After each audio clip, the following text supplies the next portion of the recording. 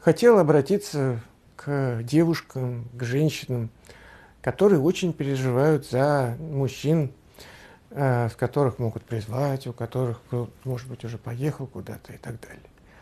Значит, э, есть ощущение, что если вы тревожитесь за другого человека, за мужчину, за своего, за сына, за мужа, за любимого человека, э, то вы как бы делаете что-то полезное. На самом деле пользы от этого никакой.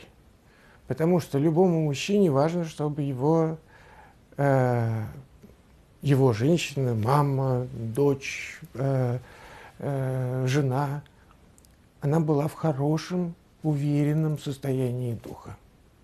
Потому что он же за это внутренне отвечает.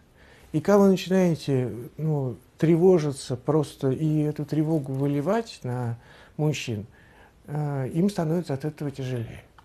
Поэтому э, Самое важное, дайте близким мужчинам, в частности, они, я надеюсь, э, вами хорошо эмоционально воспринимаются, дайте им ощущение того, что с вами все в порядке. А когда вы тревожитесь, ощущение, что с вами что-то не в порядке. И это дополняет количество стресса. Вот. Дайте ощущение того, что вы можете совсем справиться. Женщины куда сильнее мужчин природы их сделали так, чтобы они были сильнее мужчин. Вы лучше переносите боль, вы дольше живете. Э, на, вас, на ваших плечах столько всего оказывается все время, и вы всегда вывозите.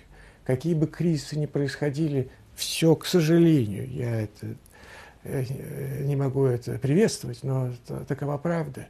Э, через все кризисы мы проходим за счет женской силы. А, и не давайте своим мужчинам повод лишний раз переживать. Дайте им ощущение надежности. Сейчас от этого очень многое зависит.